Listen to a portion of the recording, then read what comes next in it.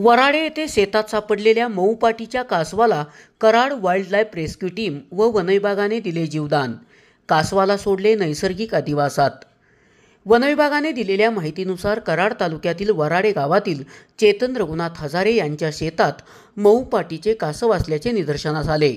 यानंतर चेतन हजारे यांनी सदरची माहिती वनविभागाला दिल्यानंतर कराड वाईल्ड लाईफ रेस्क्यू टीमचे सदस्य तसेच वनविभागाचे कर्मचारी घटनास्थळी दाखल झाले. त्यांनी या मऊ पाटीच्या कासवाला ताब्यात घेऊन ते सुरक्षित असल्याची खात्री केली. त्यानंतर वनपाल सागर कुंभार वनरक्षक Sachin Khandagale वनसेवक Shambhuraj Mane Anil Kamble wildlife rescue team सदस्य तसेच वन्यजीव रक्षक निलेश कांबळे यांनी या कासवाला नैसर्गिक अधिवासात सोडण्याचा निर्णय घेतला. वनविभागाचे कर्मचारी व कराड वाईल्ड लाईफ रेस्क्यू टीमचे सदस्य यांनी या कासवाला जवळच असलेल्या पाण्याच्या ठिकाणी नैसर्गिक अधिवासात सोडून दिले. एस पी ओरिजिनेटिव्हसाठी सुनील परीट कराड.